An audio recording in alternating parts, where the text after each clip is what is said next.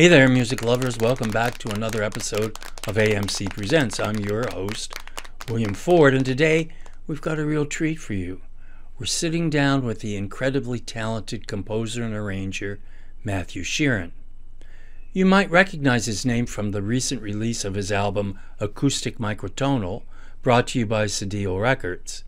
But that's just scratching the surface.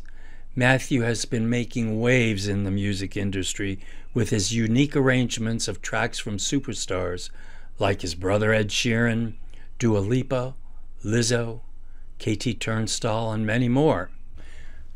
But let's rewind a bit. Did you know that Matthew's journey started way back when he was a child? He was wowing audiences as a treble soloist in operas and church services. Talk about starting young. With a classical training background and a thirst for exploring music from every corner of the globe, Matthew's musical understanding knows no bounds. After honing his skills at the University of Sussex and earning a master's degree in composition from King's College London, Matthew's career skyrocketed. Over the last decade, he has racked up a collection of prestigious awards for his groundbreaking work in the industry. Today, we're diving deep in Matthew's journey. From his early encounters with classical music to his groundbreaking compositions, we'll uncover it all. But that's not the totality. We'll also be delving into the nitty gritty of preserving music in the digital age, and of course, discussing Matthew's mastery in arranging music for films and TV. And we'll be exploring the fascinating world of microtonal music. Ever heard of composer Easley Blackwood? Well, Matthew's going to give us a glimpse into this man's genius and walk us through the intricate process of arranging Blackwood's electronic compositions for acoustical instrumentation. At the end of our tour, we'll get to explore the magic firsthand. We'll compare Blackwood's original microtonal etudes performed by synthesizer with Matthew's breathtaking acoustic arrangements. Trust me, you won't want to miss it. So grab your headphones and get ready to be blown away by the incredible talent of Matthew Sheeran. Let's dive in. Hi, how are you, William? I'm good. Good to meet you. Good to meet you too. Where are you? I'm in Bath in um in uh, the UK, near Bristol, Cardiff. I presume you're in Atlanta. Yeah, actually outside of Atlanta. Where exactly did you grow up?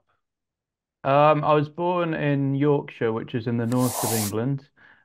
I was born in Halifax, uh, so near Leeds and Manchester, and I lived there until I was six.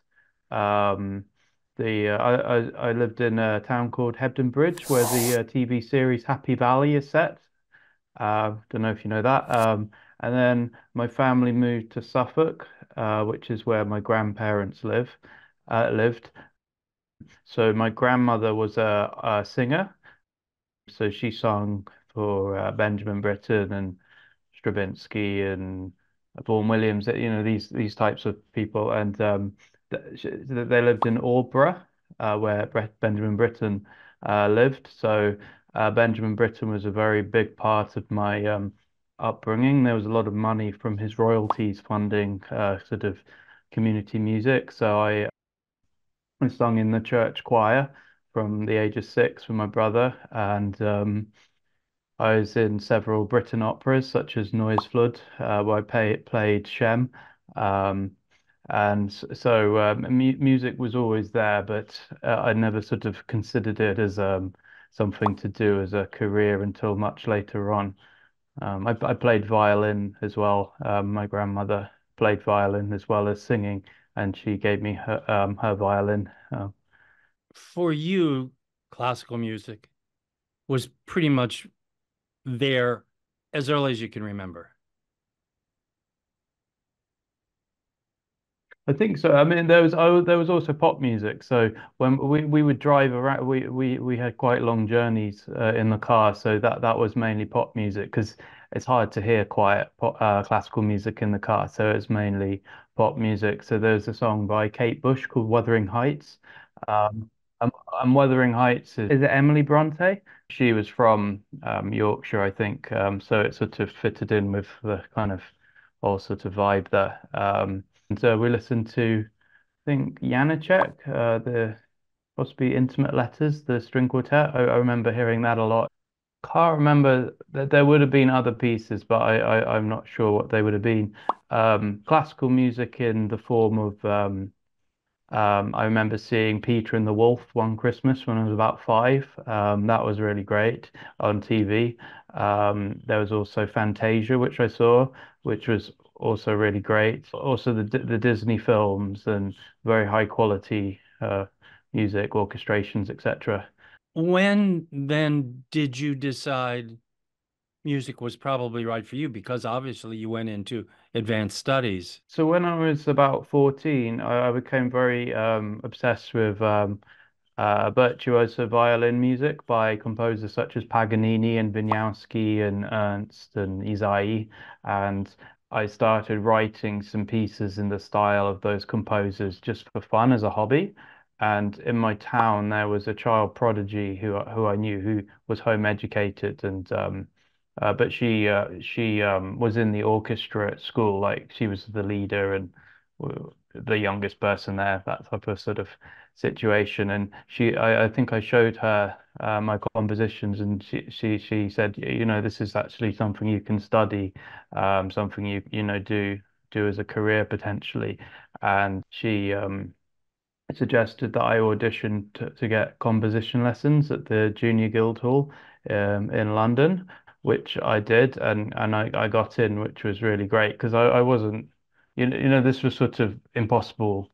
Violin music was all I all I had to show for myself, and and there I was taught um, very important basics of notation, and there were opportunities to write for um, real musicians and many sort of it was sort of the school of hard knocks when you start off you know people play your music really badly because uh, they're sort of not being paid, uh, so they they don't make a big effort, and from that you learn you learn many things. But it's it's quite sort of uh, disconcerting, but um, it's an important uh, important part of the process. Um, yeah, and then I then I um, applied uh, for university to study uh, music, but with a focus on the composition. So I chose Sussex University, which had a strong composition department and I was able to get violin lessons at the Guildhall School of Music and Drama there as well. I wasn't very good, and I wouldn't have got into the Guildhall School of Music and Drama as a violinist, but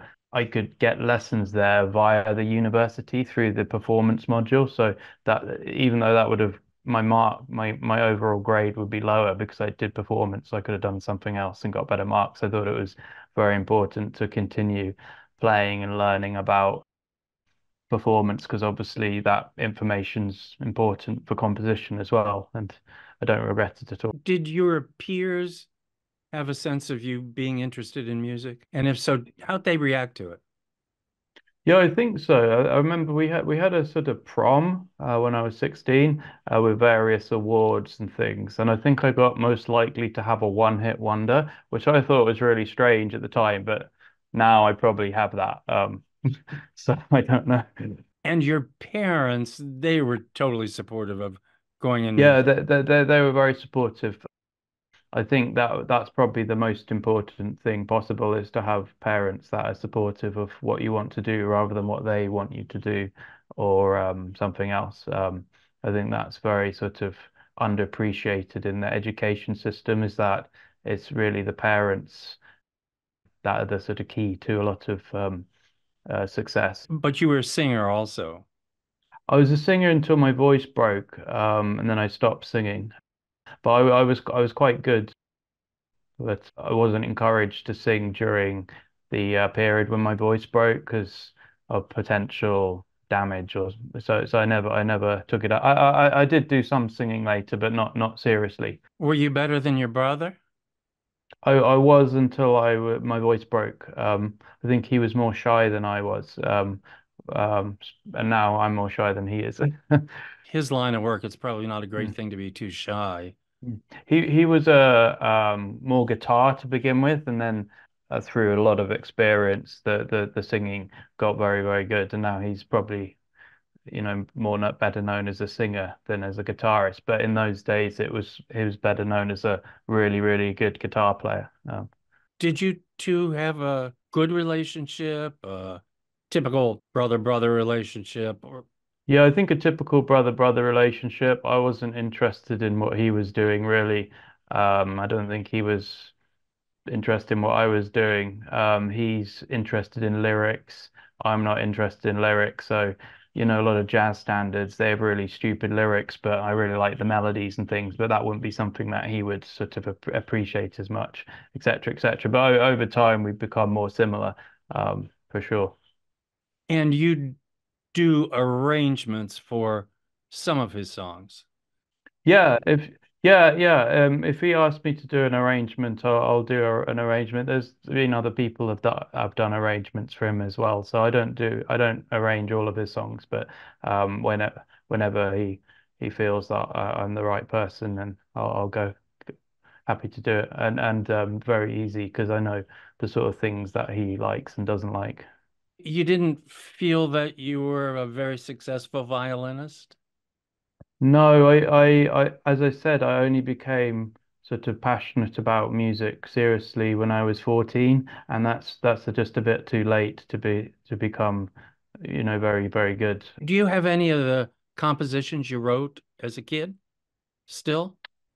So, uh, what's interesting, this is something that uh, I think about a lot, is um, the the music software of that time you can't um, open the files anymore. Uh, but I printed out a lot of my music, so it's it's all preserved in printed music.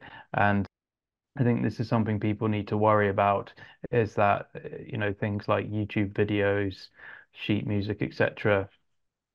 You need to have it physically out off the internet somewhere to be sure that it's going to survive.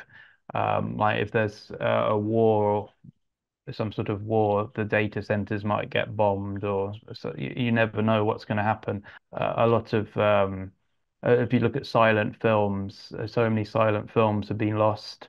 Um, the Wizard of Oz music is gone.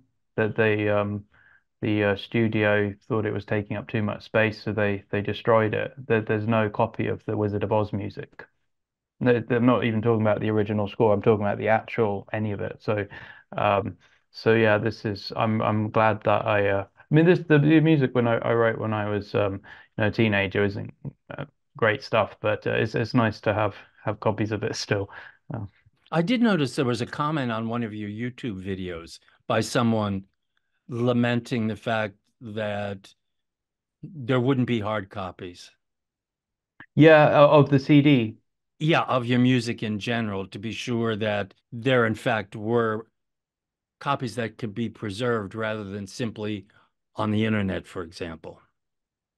Yeah, I mean, the reason I uh, released the latest uh, album that we'll probably talk about later, Acoustic no, Microtonal, uh, with a, a, record label, part it was partially because that made it more likely to survive long term, having it on a record label's catalog. Um, so presumably that its lifespan will be longer than if it um, was just published on YouTube. Um, for example. For example, MySpace, uh, all the music on MySpace is gone now. They just suddenly got rid of it. So so that's all gone. Oh, the tech companies aren't interested in preserving for history?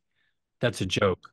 I mean, I mean they're they're they're interested in money, so if that made them money, they would be interested in that, but I'm sure you can work out right. that's not right. It's interesting, like Brahms, we lost a lot of his music in part because he destroyed it himself. Mm. So he, he was so critical. So it can happen. And maybe it was a great loss, or maybe Brahms was a better judge of his own music than history would have been. Yeah, there's obviously uh, Sibelius's Eighth Symphony, which he had burnt um, on a fire. Um, that that was the big one. Um, and and didn't somebody rescue those? So some, some fragments exist. Uh, um, they played them recently. Yeah, yeah. I noticed that you've uh, done a lot of arranging, maybe composing for movies, TVs. Yeah, mainly arranging these days. It's a lot easier than composing. so how exactly does that work? Like, does somebody compose a, a, few lines and you take it from there, or how does that work? I, I would compare it to, um, let's say you've got a theatre script, a play or a film script, and there's many different ways of um, creating that, turning into a film. You give it a different director, different actors, etc. But like overall, it's you know you'd be able to tell it's the same thing by looking at different versions, and arranging's a bit like that. I, I think so. Um, you have to have a degree of faithfulness to the original music, and then depending on the context, know how far you can sort of change that. Uh, so somebody may have written the entire score and you go from that? You're mainly adding strings and things or orchestrate it. It's a bit like orchestration, I guess, but maybe changing the harmony sometimes depending on the context. Um, I'm quite conservative, so I, I generally don't change harmonies um, too much. Have you ever had to conduct or be in the actual development of the soundtrack with the movie up on the screen and yeah i've conducted but it's not something i'm um I, I don't think it's a good idea for me to conduct my own arrangements because I'm sort of concentrating on not messing up rather than listening to you know the individual you know the violas see if the um it's a lot easier with um commercial music to conduct because you've got a click track you're wearing headphones so uh no one's going to get lost. There's a screen with the um, bar number on etc etc but uh, I normally have other people do that these these days but if if there's no op if I have to do it I'll do it but uh, only if I have to. Um I haven't studied conducting um but I, am giving comments in the stu in the studio um to remotely to the players. So I'm still giving feedback just via the conductor. So I'll tell the conductor, you know, that bar was bad or something, then he'll convey that to the players.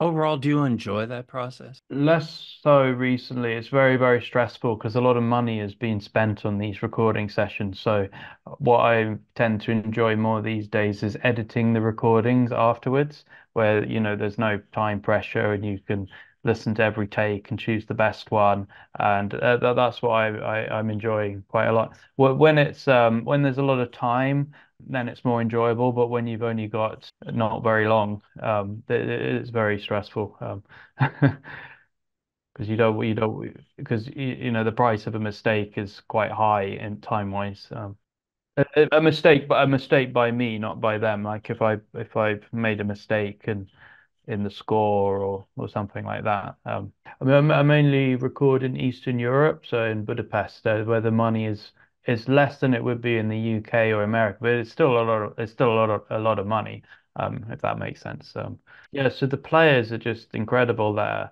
um, the uh, the setup. Uh, I, I, mainly work with a company called uh, Budapest Scoring, and they had um, they they do the sessions remotely over Zoom. So you you they live stream the um, you know the audio, so you can hear them, the conductor recording the music, and then you talk to the conductor over Zoom about the bits you want redone.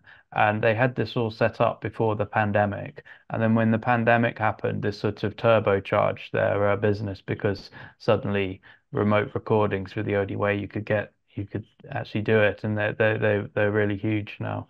They bought their own studio um their own concert hall and things so. You were doing the blackwood music. Mm-hmm.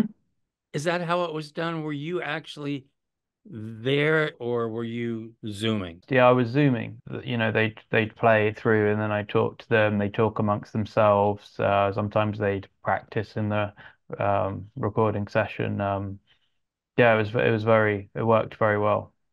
Did you ever find a limitation because of the sound quality? There there is an issue with the sound quality uh, when when it's at that sort of distance. Uh, I remember one time uh, I did a recording session in LA over Zoom, and what you need to understand is that there are people there as well that can verify if it's good. So if, if something's really high and the quality isn't good, you can just ask the musicians or the um, the engineer, was that okay? I couldn't tell, and they'll um, they'll let you know. So that that's the sort of solution to that issue. But generally, it's uh, not not so much as a, a, a problem. I think a couple of years ago it would have been more of a problem than it is now. Uh, but the technology is sort of being sort of streamlined more these days. I'll often ask the musicians, "Are you happy?" Because because you know they want a good they want a good recording performance as well. So and sometimes they'll say, "Oh no, we want to do it again. We think we can do it better." Uh, so uh, there's a lot of trust involved, but um, th these guys are really really good, and um, if they're happy, then I'm happy normally. Uh, When you did the Blackwood recording, was it a pickup orchestra or is it a an established recording orchestra? It's a it's an established recording orchestra, but they don't. Um, I think some of them work exclusively for the orchestra, but others are. Uh, so, so so yeah, it's it's mainly the same people. For example, the brass and wind players and the harpist. I think they're in the uh, Hungarian Hungarian Radio Symphony Orchestra. Five minutes of recording time with the entire orchestra if you've got a very short piece of music and um, you share the session with many other composers. So the first 25 minutes will be someone else, and then it will be you. Um, so th this is mainly their kind of business model, but they also do bespoke sessions like the the Blackwood with with fewer with fewer players. Sure. What's your goal for yourself with regard to composition? And I've sort of put it uh, paused my composition for a for a bit because I've been very busy, but I do want to start doing it again. But the arranging's really taking over, so I think my ambitions would be more in that field, um, for sure. Arranging and producing, uh, for sure. Arranging is a, a very comfortable, profitable thing for you. It's, not as uh, profitable as um, as composition, depending on what the composition is. Like a composition for commercial music uh, can be very lucrative. I've done some of that, and there's also I do a lot of what's called trailerization. So trailerization is where you take a well-known song and then you kind of recontextualize it for a film music trailer. And people, everyone knows this song and they know the lyrics. You don't have to have the lyrics. Uh, so a good example would be the song Smile by Charlie Chaplin, which is a really lovely song. But they use this song for the Joker because, you know, he's got a smile. And that's a kind of, you know, it's this really happy song, but it's to a sort of very dark movie. So they've kind of changed, they've recontextualized it. And this is a very sort of uh, trendy, sort of new sort of um, approach that film trailers are taking these days. So I've done uh, several uh, several trailerizations of um, uh, songs from the catalog of my publisher BMG. So they own the um, the copyright to the music. So every time it's played, they get money. So there's a sort of symbiotic relationship um, uh, between us. With regard to the Blackwood CD, first define microtonality. I can do it in three words if you want, but it might be offensive to microtonalists.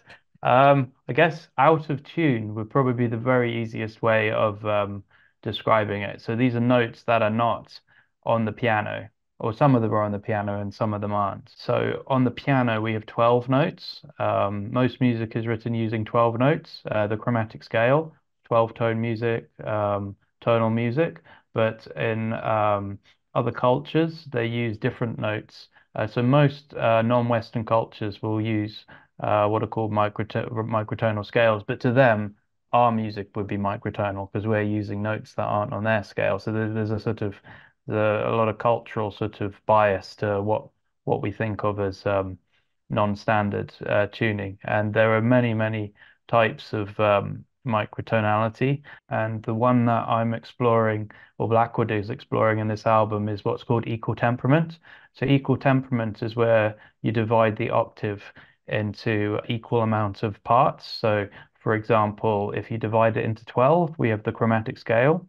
If we divide it into six, we have the whole tone scale, which is in um, six times two is 12. So that's still in our usual um, system. If you divide it into three, you've got the augmented chords. If you divide it into four, you've got the um, uh, diminished seventh. Now, now we come on to numbers where if you divide it, there are notes that aren't in the um, 12 tone scale. So, for example, if you divide it into five, you get a sort of pentatonic scale, but it's not exactly the same as the black notes on the piano. This um, division of the octave is uh, very popular in a lot of non-Western music. A lot of flutes play in this scale. Similarly, for seven, if you divide the octave into seven, um, there's a lot of, for example, Thai music uses a similar scale. So if you divide it into seven, you don't have any modes anymore.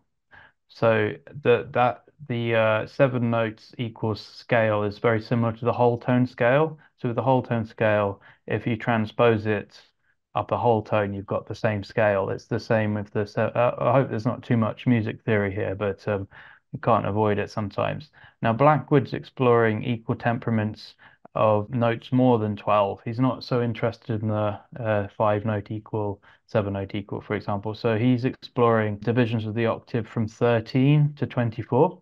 Now, uh, maybe a, a, better way of explaining this would be to compare this to something that non-musicians uh, would be familiar with, which is uh, the the clock. So with a clock, we've got 12 hours, don't we? Um, what if we had 13 hours on that clock? or you know we've got 12 months in the year what if we had 16 months in the year what what would what would that world be like so let's say we've got 16 months in the year the seasons are, are still going to be the same length as they would be with 12 months in the year so there's a similarity there but with 13 there's no similarity at all so th this is what blackwood explores in the um, dividing the octave into um, uh, 16 notes. There's the diminished seventh chord is the same as the one in 12, so that's quite a big feature of that composition. But with 13 notes, there's just nothing in common at all, and that's a very strange alien sort of landscape. But uh, so Blackwood chooses a different uh, historical style for every single etude, the one which works best for the um, the music theory of that particular uh, microtonal scale. So you have Baroque music, for example, for the 21 divisions of the octave. Uh, you have sort of Scriabin, Stravins early Stravinsky for 18 notes. You got Schubert for um, 22 notes. For 23 notes, which is a prime number, so it has nothing in common with 12.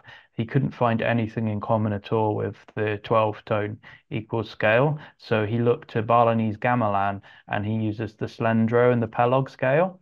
Uh, so and then um, and then 17 notes and 19 notes, they're very similar to um, 12 notes in that they have diatonic scales.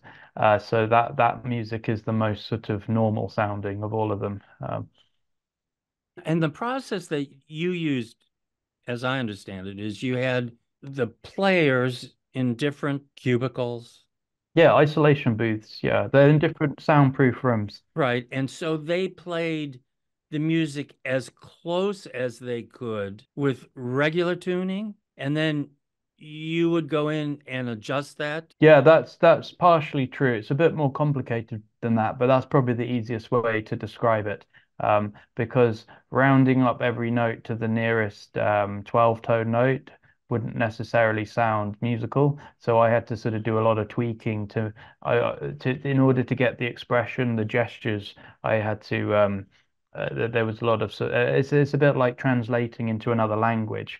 There's things that just don't work. So if you're uh, you're translating into Italian English nouns and you're writing a song and you want that to fit, um, there there aren't any nouns in Italian with with one syllable. So you know this is a unsolvable problem, and they were they were unsolvable problems um, in some of the uh, translations. Um, I, I think a good way of describing it is so when Schoenberg um, invented his um, atonal music, the music sounds very radical, but under the hood, it's very the the orchestration, the gestures, the structure is very similar to um, late Romantic music by Brahms and uh, Wolf, uh, composers, or, or early Schoenberg. So it's as though we had if we turned Schoenberg's music into this late romantic music and then retuned it on the computer to 12 tone music, as in atonal music, in the early 20th century, before people knew how to play this um, music, you would have got a better result than what early performances of Schoenberg. So we're in a similar sort of stage, perhaps with microtonal work, that maybe these pieces will be playable in the future, but this is the sort of uh, sort of stepping stone to to that to that sort of uh, maybe in a hundred years' time, the performers will have uh, this this will be playable for them. It seems to me that because you're trying, if you have to put it in Western notation, it's always going to be a problem of translating. Mm. And to some degree, Western musical notation works within its system, but may not work in other systems.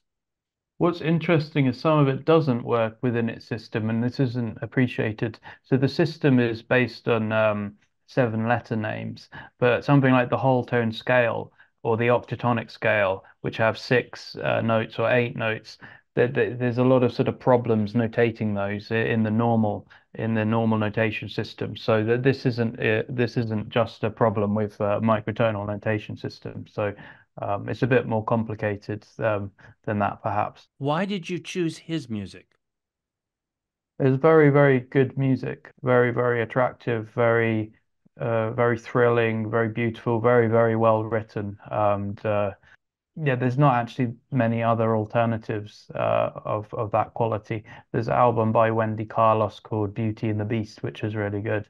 Uh, but there, there's not as many uh, sort of large sort of collections of microtonal music that could be done in this way that I know of at least. You you mentioned um, it sounds flat. It did, did uh, portions of it sounded flat to me, but others of it, like there was a suite that sounded very Couperin-ish or um, mm, mm. which didn't sound flat. So I guess it all depends on the piece and what the effect. Is. They're all different. For. They're all different. Uh, that's that's that's the interesting thing about them. How long did it take you to do that? The whole the whole project it took about two and a half years, three years. Uh, basically, it was started at the beginning of the pandemic, and then the recording sessions were over the course of a year. Um, recorded the different instrumental uh, types in, uh, together. So strings in one session, winds in the next session, playing to the recorded strings, brass in the next question in the next session, playing with the strings and the winds, and then finally harp. Um, wow! And how did you get hooked up with Cedille to get it recorded? Uh, they had an online submission form, uh, so I um, uh, su submitted submitted it uh, via their online form, uh, and they can, you know, they they they agreed to do it. Well, if nothing else, it's generated a lot of interviews for you. Oh yeah, absolutely. Yeah. I've got I've got a lot better at interviews. yeah, yeah, yeah. I know, you, you chose a, a good time. You chose YouTube. a good time because I wasn't as I wasn't as good before, but I've got a webcam now. I've got a microphone. Uh, cool. All right. Well, I'm sorry that we only have a minute left. Uh, it was great talking with you. Yeah, really great. Thanks so much. a lot of uh, informa- information packed into a little space. Absolutely. Hey, good talking with you. Take care of yourself. You too. Have a great day. You too. Mm, See ya. Bye bye.